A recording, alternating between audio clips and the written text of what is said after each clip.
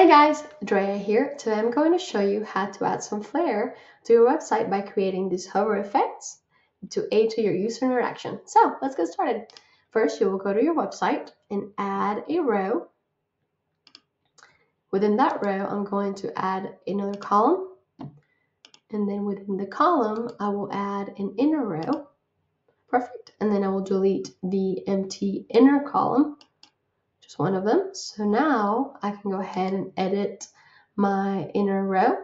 I'm just gonna make it um, a little bit more like a service section block. So I'm gonna round my corners, add a border, and also add some text in here. So I will do a title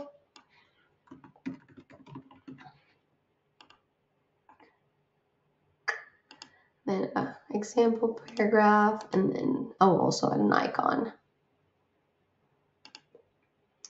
Now we'll do maybe like an arrow for this example. Okay. I'm to go ahead and fix the padding for the icon because it's right now it's all the way in the middle. Okay. Great. So now I have my little service block here. So now to the fun part you will select your inner row, right click, and then edit the HTML CSS. Once you're here, you're going to want to go to your first row and add the class services and save or update.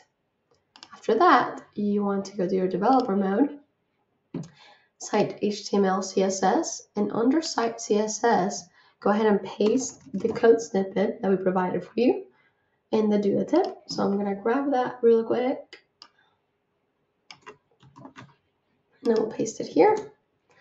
And here in this code, you can also change the hover state to whatever you think is best for your site, like the background color or the animation. We have also added an animations resource for you in the Duda tip, so feel free to check that out so you can make it your own.